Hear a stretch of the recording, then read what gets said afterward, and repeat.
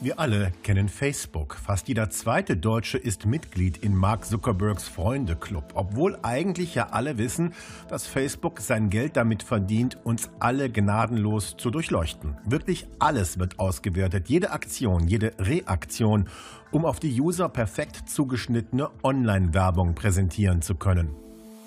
Ja, das, was Cambridge Analytica da gemacht hat, ist im Grunde genommen kein Missbrauch, sondern ein konsequenter Gebrauch der vorhandenen Daten. So wie Facebook das nämlich immer macht, den User möglichst genau kennenlernen und dann zielgerichtet Werbung präsentieren, die seine intimsten Bedürfnisse anspricht. Dank diesem Whistleblower hier wissen wir mittlerweile, was möglich ist, was passieren kann, wenn man vorhandene Daten ausnutzt und diese Daten in falsche Hände geraten. Nämlich man kann ganz gezielt Propaganda machen.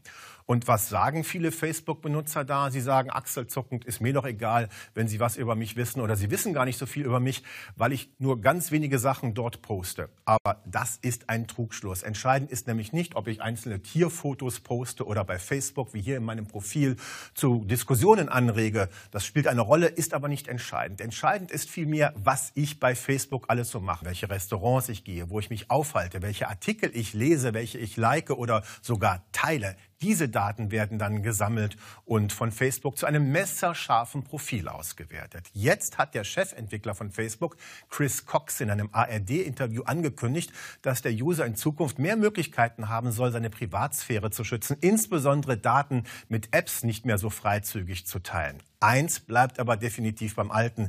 Facebook sammelt auch in Zukunft so viele Daten wie nur möglich.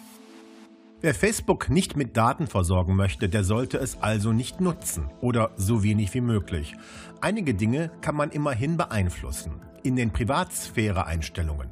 Dort kann man zum Beispiel festlegen, ob jeder sehen darf, was ich like oder nur die Freunde oder niemand. Facebook weiß es trotzdem, aber die anderen können es dann zumindest nicht sehen.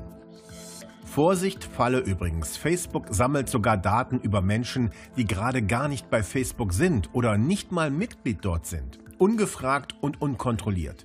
Das geschieht über die Like-Buttons, die es überall im Netz gibt. Wenn diese Buttons von Facebook direkt kommen, senden sie Infos an Facebook, etwa welche Webseite man gerade besucht. Ja, all das zeigt, es gibt praktisch keinen drinnen. Was aber tun? Den Stecker ziehen? Naja, das wäre schon eine Möglichkeit und es gibt mittlerweile sogar eine Initiative und die nennt sich Hashtag Delete Facebook.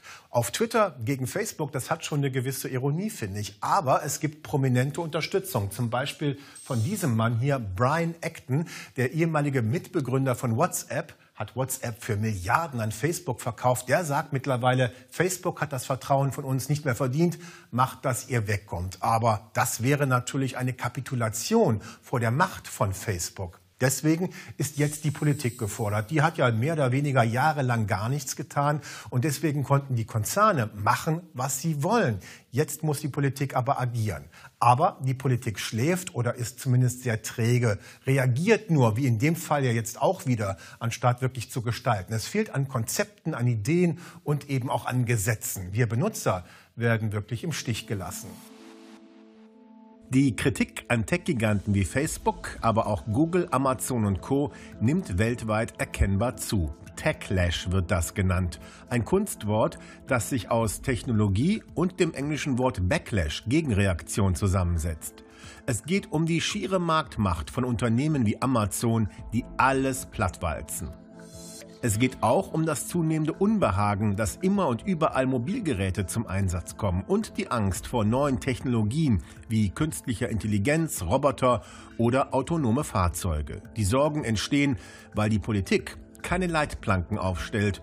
Doch genau das muss jetzt passieren. Ja, sehr viel mehr über das Thema gibt es von mir in meinem Blog Digitalistan und auf Facebook, Twitter und Co. natürlich ebenfalls. Und dort können wir auch gerne diskutieren.